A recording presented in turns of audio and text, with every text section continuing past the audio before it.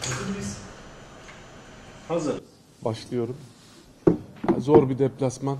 Ee, çok iyi bir takım. Eksik olmasına rağmen çok iyi bir hoca. Ee, oyunun kontrolü elimizde tutmaya çalıştık. Özellikle topsuz oyunda bunda çok başarılı olduk. Çok az pozisyon verdik. Ee, daha iyi geçiş yapmamız lazımdı. Fakat içinde bulunduğumuz durumda bizim için önemli olan bir ya da 3 puan almaktı. 3 puan aldığımız için çok mutluyum. Ee, Kayseri Spor'u tebrik ediyorum. Büyük camia, büyük taraftar. Çok uzun yıllar hizmetim var buraya. Her zaman da kalbimin bir tarafında olacak. Özellikle de Kapalı Kale'ye benim olduğum bu dönemde saygılarımı, sevgilerimi iletiyorum. Sorusu olan var mı? Ben teşekkür ederim. Teşekkür ederiz.